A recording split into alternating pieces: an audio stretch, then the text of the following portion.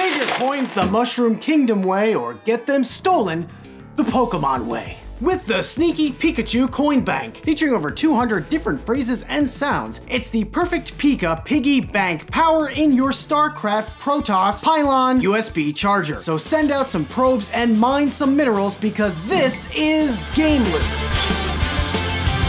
Martha, why did you say that name instead of the name Bruce Wayne? This incredibly detailed Batman statue made in honor of Justice League even allows you to unmask the bat and reveal the mug of a man named Affleck. Affleck. For just a Mugman on your shelf, grab this vinyl figure to sip alongside Cuphead. Then head over to Rose Colored Gaming to elegantly store and display your N64 collection. Organize that pile of loose cartridges with custom cases that hold the game, manual, and controller pack. They print the cover art in-house, so you just tell them what games you need cases for. Before you slip into your Gears of War pajama pants and rest for the night, pop on a Cube Light. The wooden retro game LED color nightlight allows you to alter the mood while displaying classic icons like Donkey Kong, Sonic, and Mario. What was that? You're cold? Warm that frigid body by wearing a Warhammer 40k long coat, so you can Imperial Guard your Rocket League neon cover t-shirt. If you're your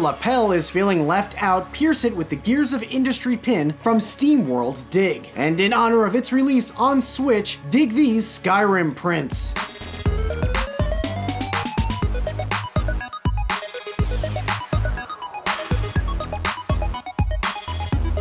Fusro, don't miss out on the sweet sounds from spinning Hero of Time. The Ocarina of Time 2 LP soundtrack performed by the 64-piece symphony orchestra is back in stock.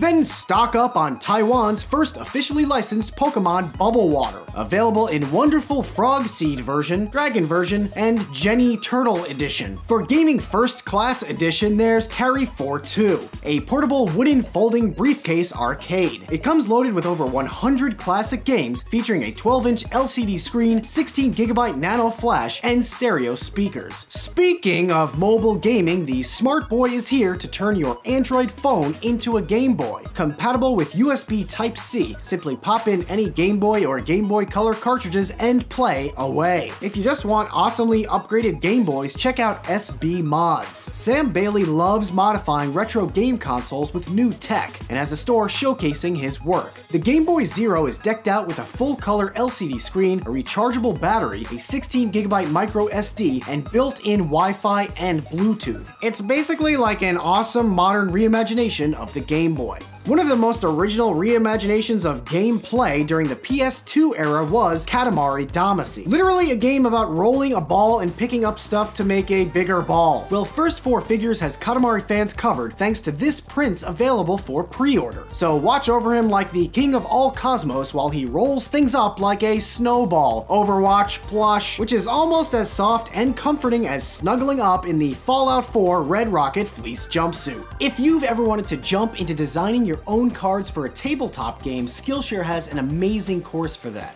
It's taught by Daniel Solis, who's the new art director for the Firefly game. Skillshare actually has over 17,000 classes taught by experts, so you'll find exactly what it is that you want to learn about. A premium subscription is less than 10 bucks a month, and the first 200 people to sign up using the link in the description below will get their first two months for free. So check that out. As far as what am I playing right now, Still finishing up Persona 5, like almost 80 hours into it.